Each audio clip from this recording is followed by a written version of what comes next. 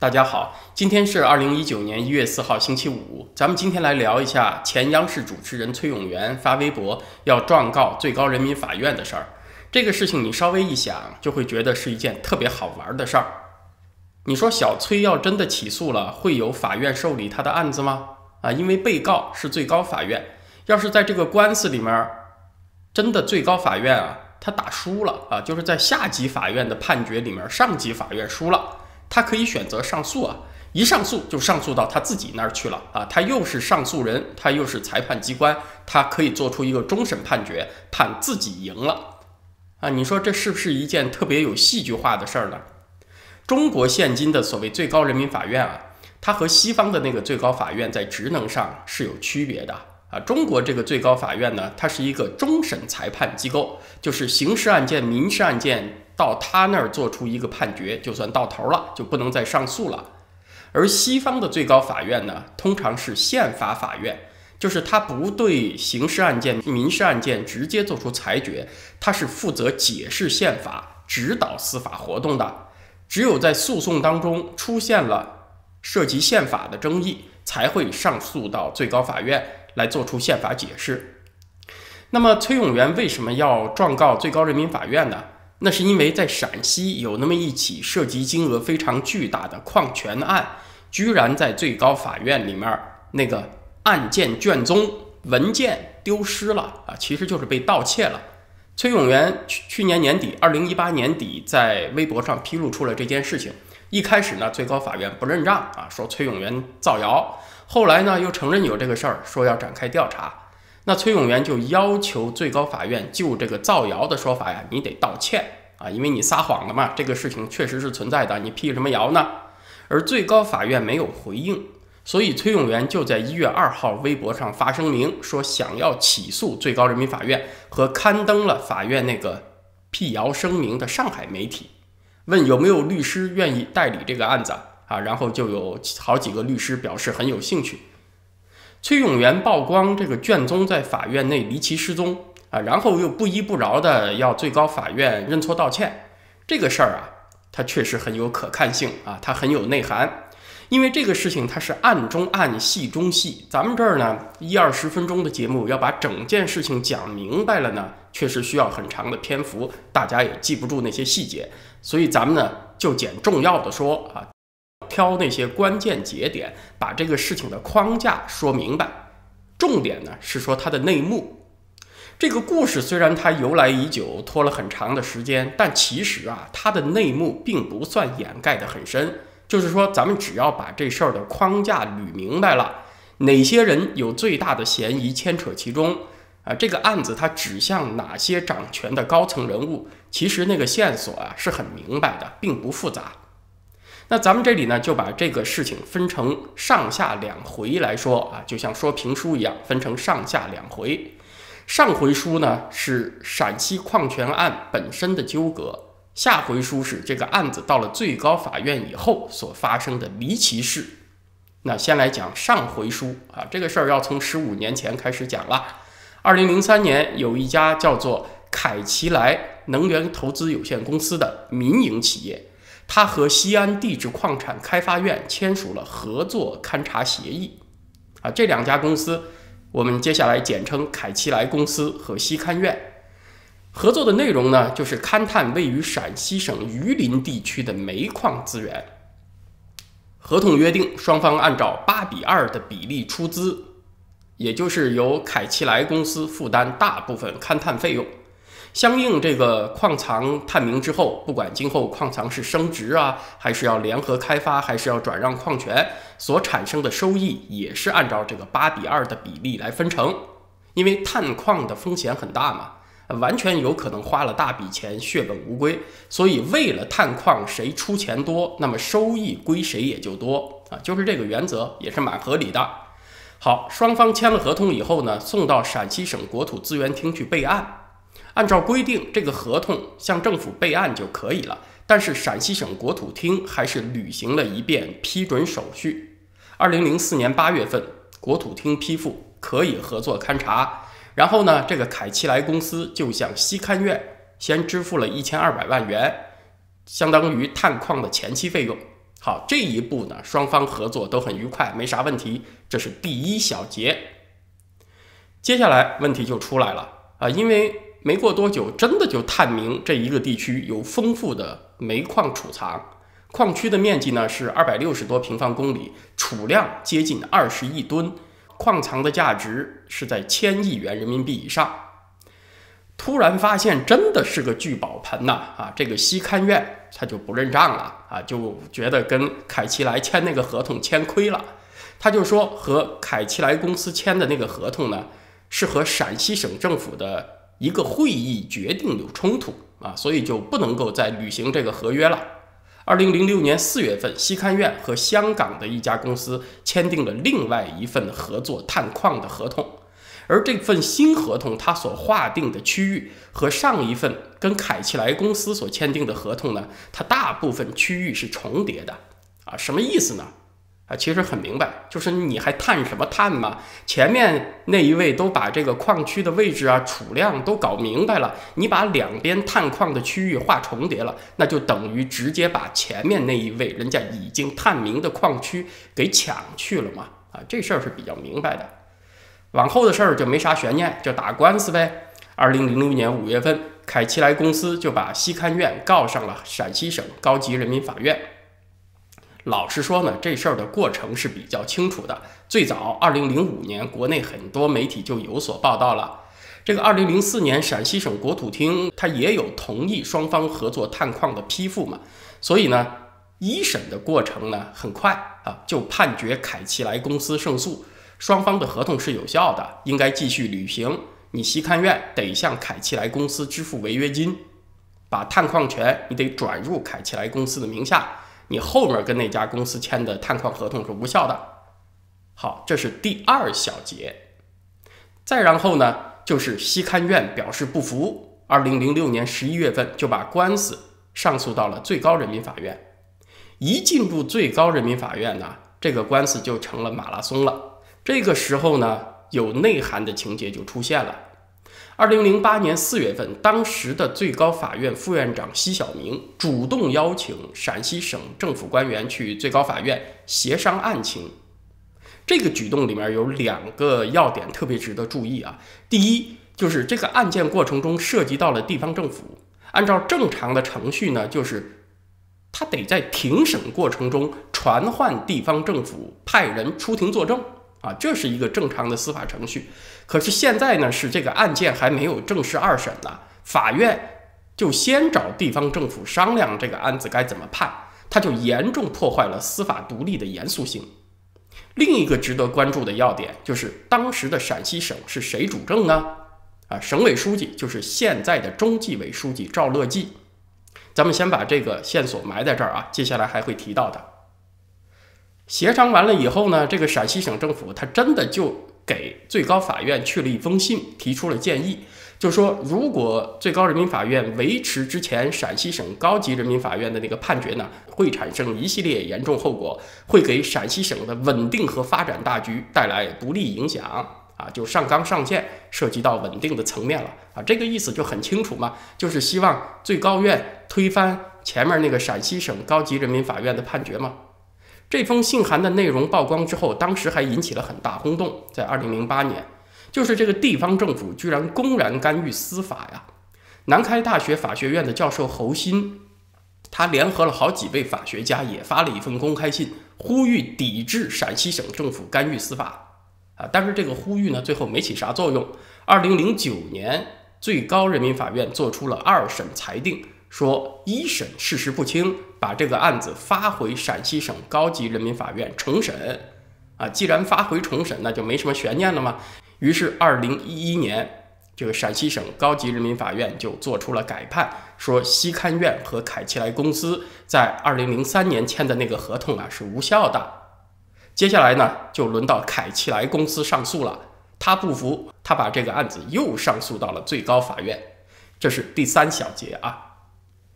于是呢，到这一步，相当于案子第二次进入了最高人民法院，然后呢，就又拖下来了，直到二零一三年的六月份才第一次开庭，又过了三年多，到二零一七年的一月份，在最高院是第二次开庭。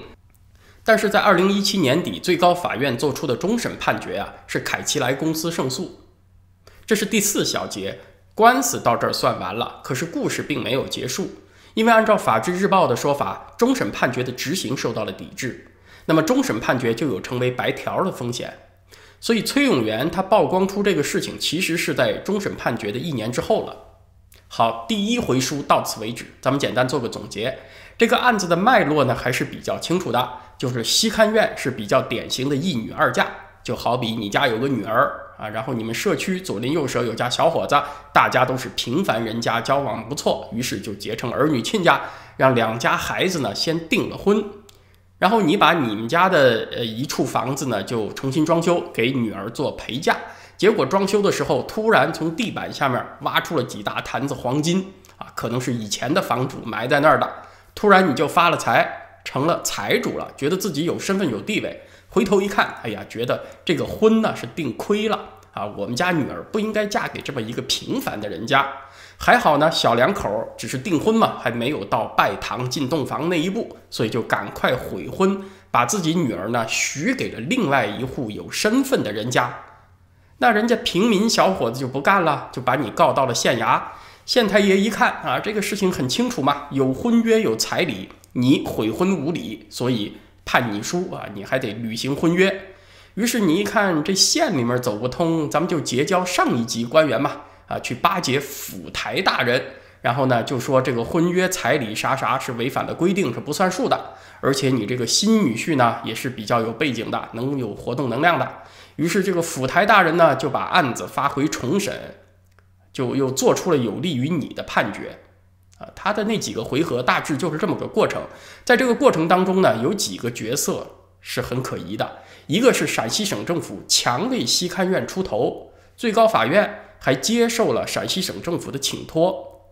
第二就是西勘院和这个凯奇莱公司毁约之后啊，他和另外一家香港公司签订了合作探矿的合同。那请问这家香港公司是什么来头啊？啊，它的实际控制人是谁呀？他一出面就接手了一个价值千亿元的矿区开发权，你说他就是一个纯港商吗？他背后是谁呢？对不对？呃，以我们对中国社会那个了解。这当中必然涉及到巨大的利益交换。另外一方凯奇莱公司呢，也得说一下啊，他把这个官司一直坚持下去，打成了僵局啊，有能力制造僵局，他最后还赢了，那也不简单呐。那是不是在这个过程当中，他也有投献之举呢？投献就是投送的投，奉献的献。它是中国古代一个名词儿，它指的是一个势力比较弱的人，把自己的财产自愿奉献给豪强官宦之家，取得后者的保护。那是不是凯奇莱公司为了打赢官司，他也走了上层路线，有这一类的投献举动呢？啊，这个就不好说了。反正凭着大家对中国社会那个理解，做出一个合理的猜测吧。啊，这是故事的第一回啊。故事的第二回，它和第一回呢？时间上有点重叠，它是从二零一六年十一月份开始的啊，就是发生了非常离奇的事件，在最高法院之内，这个案件的正负卷宗居然在最高法院之内失踪了，被窃了。按照经办这个案子的法官王清林的说法，卷宗丢了以后呢，他去查监控录像，居然告诉他说两个摄像头都坏了啊，什么都没有拍下来。你说北京那个红黄蓝幼儿园为了省钱买了劣质的监控设备，一到调监控录像的时候就说硬盘坏了啊，这事儿咱就不去说它了。你说连最高法院买的监控设备也是山寨货，也是劣质设备啊，这事儿谁信呢？你找谁说理去啊？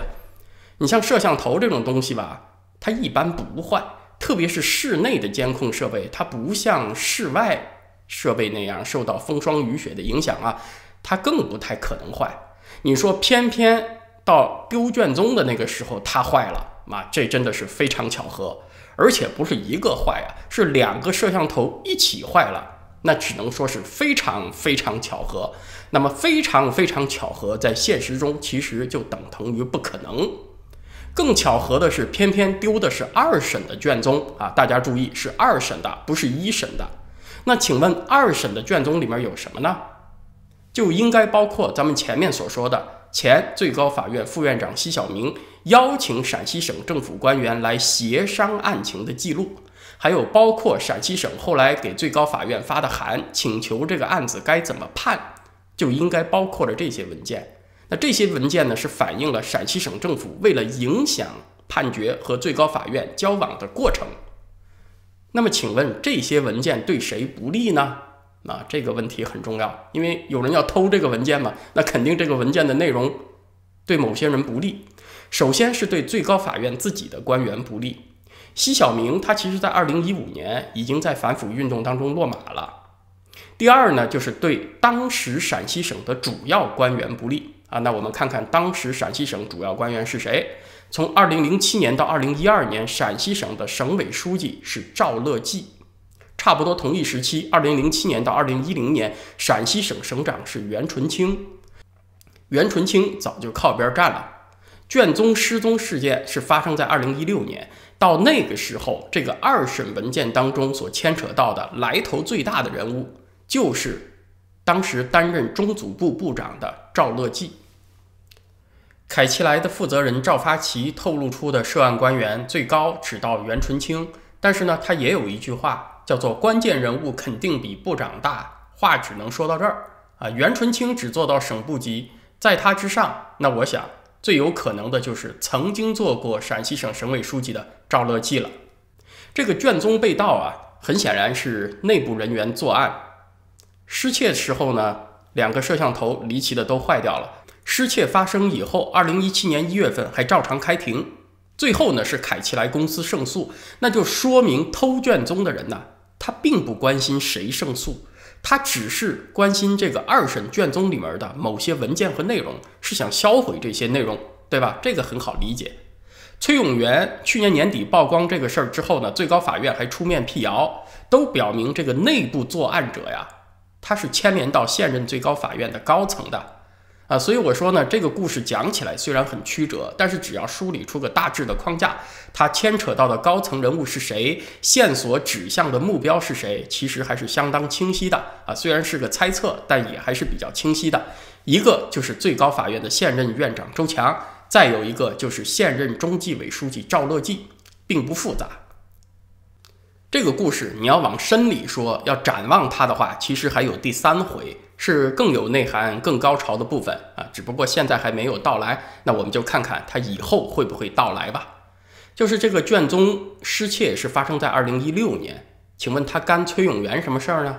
事情又过了两年，二零一八年底，崔永元把它曝光出来，请问是为什么呢？那我们就要提出这个问题。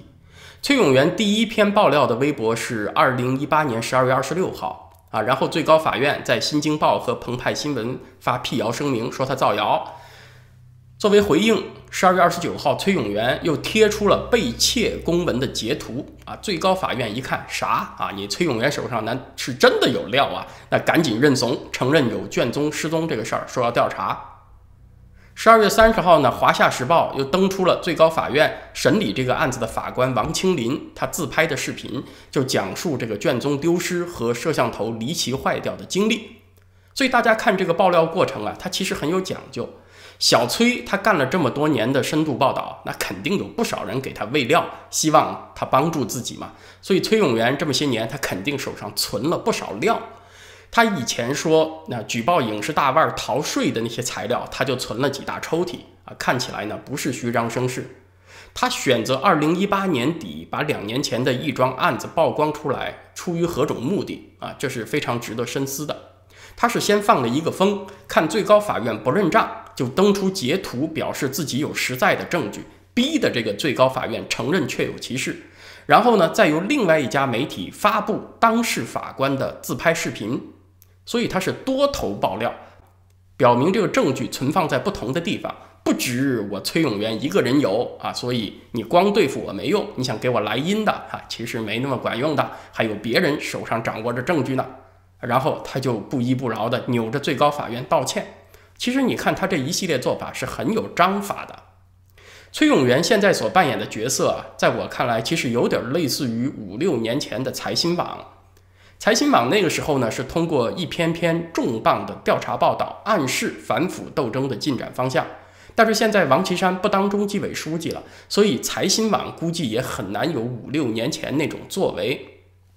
财新网是一家传统媒体，现在不是实行玩自媒体吗？啊，是自媒体的天下，所以就换小崔微博爆料登场了。从他去年打响第一炮，就是第一轮炮打影视界逃税，弄得范冰冰失踪了三个月，又大出血八个亿。这第二轮呢又来了啊！你看是打脸最高法院，死扭住他不放。所以大家到这一步应该都看清楚了，这一系列行动是事出有因的，是有来头的。你说你一般人敢这么来劲吗？和最高法院死磕，你有几条小命啊？而且呢，呃，失窃卷宗这个事情发生啊，就是有人会冒险用偷卷宗的这种方式来掩盖实情。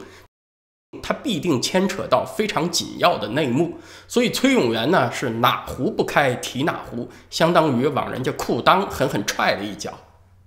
总结今天的话题，这个凯奇莱矿权案和卷宗在最高法院丢失事件啊，比较大的可能是涉及到了现任最高法院院长周强和中纪委书记赵乐际。现而今呢，是有人借崔永元拿这个事情出头做文章，那所图谋的目的具体是什么呢？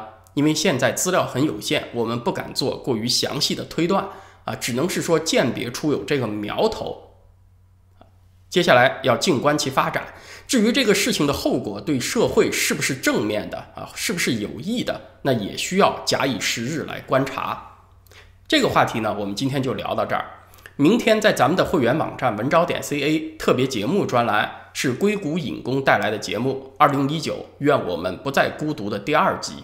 啊，这一集节目里面呢，他谈到了一个很有争议的现象，叫做“白男亚女”，就是亚裔女性在海外择偶的时候呢，倾向于选择白人男性。啊，这也是让海外华人男同胞们特别吐槽的一件事情。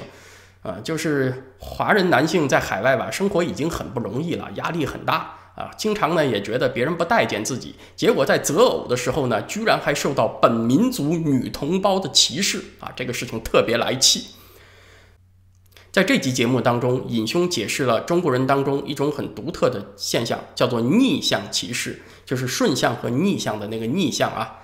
歧视这种行为呢，它在呃不同人群之间都会发生啊。你像不同的。性别和不同的年龄阶段的人之间都会发生歧视这种现象，但是以民族和种族啊这个类别来划界的话呢，一般歧视现象是发生在不同民族和种族之间，就是说你歧视嘛，肯定是指歧视外族人。但是中国人呢有一个独特现象，就是他很强烈的歧视行为是发生在针对本族同胞，是本民族的内部，所以叫做逆向歧视。呃，尹兄这集节目就解释了这个现象。那么在 YouTube 上面，我们就是下个星期一再见了。祝大家周末愉快，谢谢大家。